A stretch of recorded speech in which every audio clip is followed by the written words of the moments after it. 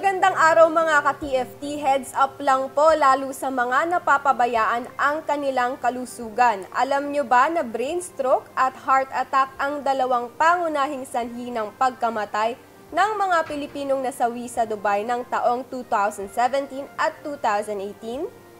Ayon sa datos ng Assistance to National Section o ATN ng Philippine Consulate, may isang daan at pitumput dalawang Pilipinong nasawi sa Dubai nitong 2018. Mula sa bilang na ito, 81 ay namatay dahil sa atake sa puso at 27 naman ay dahil sa brain stroke.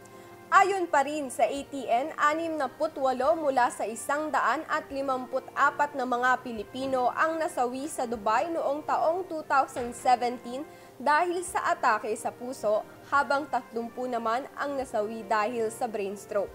Ito ay simula Enero hanggang Oktubre pa lamang noong taong iyon.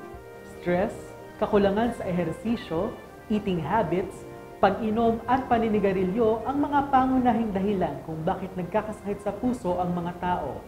Sanhi ito ng high blood na pangunahing dahilan ng brain stroke.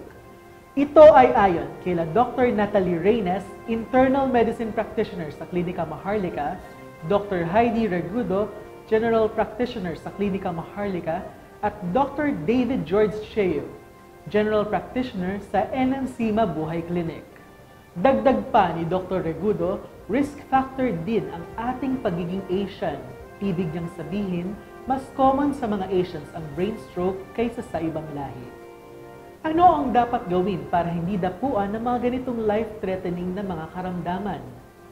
Ayon kay Dr. Wendy Paz ng Klinika Maharlika, may labing isang checklist. Ani ay dapat umiwas sa stress at syempre aniya pa, kailangan bawas-bawasan ang bisyo mag-ehersisyo, kumain ng maayos at siguraduhin hindi laging puyat. At yan po ang tampok na balita para sa araw na ito. Mga ka-TFT, huwag niyo pong kalimutang alagaan ang inyong mga sarili. Ako po si Heide Serrano mula sa Dubai Headquarters. At ako naman po si Neil B. mula sa Abu Dhabi News Bureau. Manatiling nakatutok at subaybayan ang mga susunod na trending na balita dito lamang sa The Filipino Times News Break.